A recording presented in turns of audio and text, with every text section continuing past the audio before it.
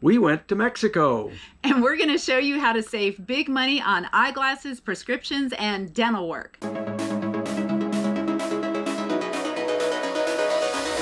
Welcome to the channel. I'm Liz Amazing and this is Paul.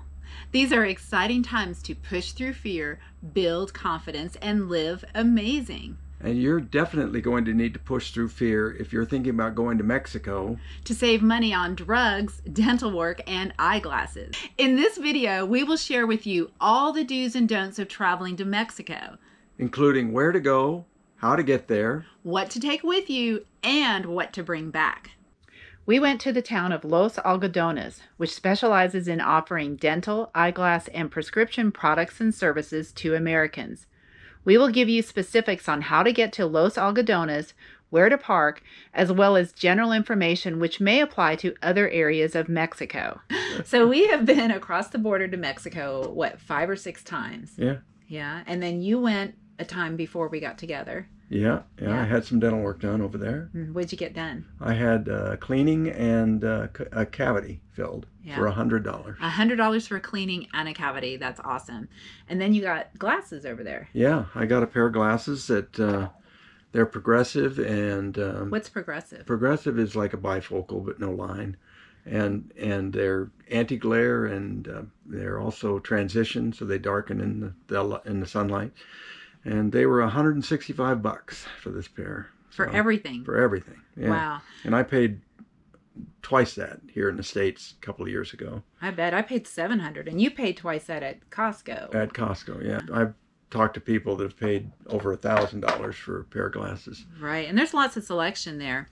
And then I got um, so I have a few prescriptions, and I just ta- brought my prescriptions over there, and um, I saved a ton too. I mean, it was it was just yeah. you don't even need a prescription. That's what was so cool about going to the pharmacist. You don't need a prescription, and you can get a year's supply. They also have um, ibuprofen at a much higher dosage than you will find here in the states. Here we can get only 200 milligram dosage, and and there I picked up a bottle of 100 800 milligram uh, ibuprofen for five dollars. Yeah, and then we got some amoxicillin too, and that was pretty cheap. Yeah, yeah, that's something that you yeah. need a prescription for in the states, but we were able to get it. It's an antibiotic, and it was what like five dollars a pack or something like that. Yeah, yeah, it was very cheap. Now you're not going to find any Class C narcotics over there, you know, Vicodin or oxycontins or oxycodone, whatever, morphine, whatever those things yeah. are. Yeah, uh, but uh, but pretty much everything else. I'm available. sure you can get blood pressure medicine. Um, you know, there's there's a whole bunch of just you know regular regular medications you can get. There's a new medication that I take that they don't have, but just the regular run of the mill stuff they do, and um, yeah, way cheaper. Way. Way cheaper. Way cheaper. yeah. yeah, and then we got our teeth cleaned for twenty bucks, right? Yeah. All right, so here's what you need before you go. First of all, you need a passport or an EDL driver's license. And an EDL is an enhanced driver's license. It's only available in five states currently here in the United States uh, Michigan, Minnesota, Vermont, New York, and Washington are the only states. If you have one, yeah, I'm sure you, you know you have one. Right. Um, Real ID is not an enhanced driver's license. Uh, most of you probably already have that star, that gold star in the, in the corner of your driver's license for Real ID. That won't get you back into the U.S. Absolutely. And if you are going to take your dog with you, you need to have proof of rabies vaccination that is current and a health certificate. Also, guns are not allowed across the border and you need cash, American cash, no pesos. You actually can use a credit card, but there'll be a surcharge, and a credit card won't be accepted at most places. And check to see if your phone will work while you're in Mexico. Yeah, there are international plans. We have one. It wasn't activated for whatever reason, and we had to call Verizon and get it activated.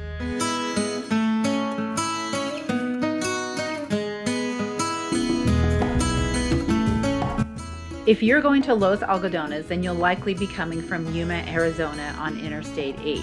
I want to let you know that I wrote all the details in the description so you don't have to write this down while you're watching. So you'll cross barely into California where you'll take exit 166. You will park and walk across the border, but there's a specific parking lot for getting into Mexico. Now, getting there is a little tricky, which is why we made this video. It is about a mile and three quarters, give or take, to get to the parking once you leave the interstate. And some things to know. Try to go on a weekday where it will be less busy. The border crossing hours are from 6 a.m. to 10 p.m., and we suggest you arrive early, like 8 or, or 9 o'clock. Los Algodones is supposed to be on Pacific time, California time, but all the stores that we went into actually are on Yuma time, which is mountain time. To find the parking lot, look for the last U-turn sign.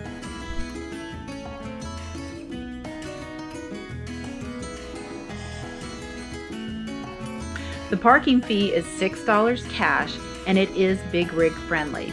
We drove the truck so it may be more if you bring your camper, but it is a breeze to get in and park. So you just walk across the border, but it's not far. This is Mexico on the other side of the fence. Carry with you your cash, passport, a water bottle, your current prescription bottles so the drug clerks can match them, now, we've done it five or six times now, and every time there has not been any official on the Mexican side, no one to greet us, to check us, or anything. That means no one to remind you that you need your passport to get back out. Expect to be greeted by several people wanting to help you find a dentist or get glasses or even hearing aids. This is neither good or bad, we have used their help.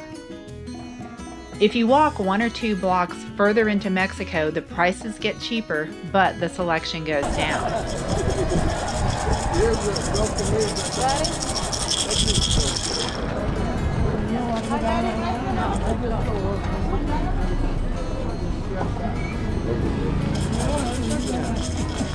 There's definitely a carnival atmosphere going on in the town of Los Algodones.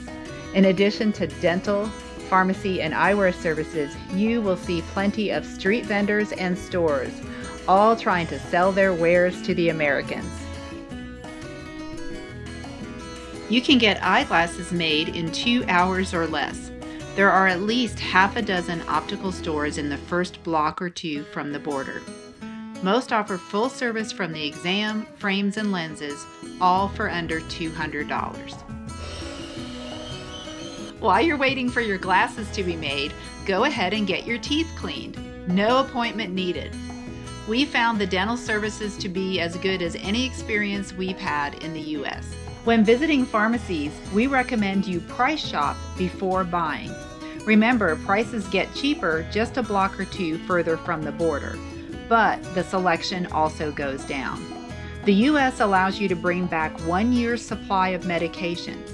When you walk back across, Customs will ask you what you bought. Be sure you say medications, not drugs. We found that the lines to come back through the border start forming at about noon and and the longest we waited was about 30 minutes. If you like this video, you'll love the next one about how to pick the right camper for you.